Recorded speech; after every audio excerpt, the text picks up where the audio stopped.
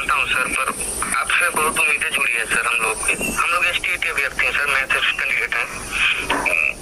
जी, sir, हम लोग को रिज़ल्ट हुआ था, उसमें यही बताया गया था, सर, आप लोग ने ही बताया था, सर, कि कैंडिडेट जितने भी क्वालिफाई है, सबकी जॉब पक्की है, सर। बहुत सारे ईमेल आपको भी मैसेज भी ट्विटर भी किया गया था। आप ट्विटर पे यस लिखे हैं, सर। यदि आप देखे होंगे अपने ट्विटर हैंडल से तो देख लीजिए, सर।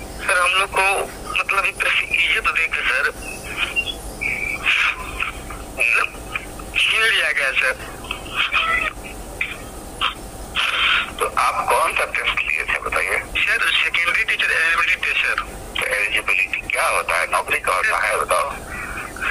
जी नौकरी नहीं होती सर लेकिन आपने मतलब रिज़ल्ट निकालते समय यही बोला था कि जितने भी क्वालिफाइड स्टूडेंट्स हैं सबकी नौकरी पक्की है सर तीन महीने हम लोग खुश रहे हैं हम लोग को बहुत सारे रिलेटिव गार्जियन सर लोग जानते हैं कि इन लोग को नौकरी मिलेगी। आज के डेट में सर मतलब नौकरी तो गई ही इज़्ज़त प्रतिशत जो भी हो मतलब सर, एक स्टूडेंट्स के लिए जो भी हो मतलब वो छीन गया है, सर। मतलब क्या गलती हम लोग किए हैं, सर, कि मतलब इस तरह से मैं तो ये बताना चाहता हूँ, सर, कि किसी का निगेटिव में माइनस सैंतीस माइनस इकतीस आता है, किसी का एक सौ चालीस, पैंतालीस आता है, नंबर, सर। नॉर्मलाइजेशन सर, इतना ठीक है नॉर्मलाइजेशन में किसी का जाता है, किसी का कम होता है। सर, आप देख लीजिए, आप सोशल साइंस में भी उठा के देख लीजिए, सर, एक लड़का, दो लड़का का कैटेगरी सेम है, सर। बढ़ वाले को रिज़ल्ट नहीं हुआ है, सर। छोट वाले को रिज़ल्ट हुआ है, सर। छोट वाला का नंबर कम है, सर।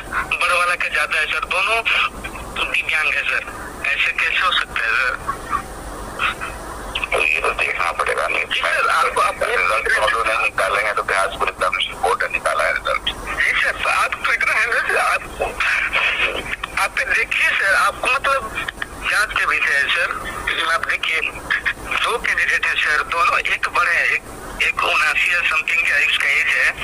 और एक का नवासी है समथिंग मतलब चौरानवे नवासी शायद है कुछ आप देखिए उसमें दोनों मतलब विकलांग ही हैं। दोनों का कैटेगरी सेम है दोनों का सब्जेक्ट सेम है। एक का छियासी एक का तिरासी है। तिरासी वाला को नौकरी हो जाती है सर। छियासी वाला को नौकरी नॉट मेरिट कहाँ किसी को नौकरी हुई है।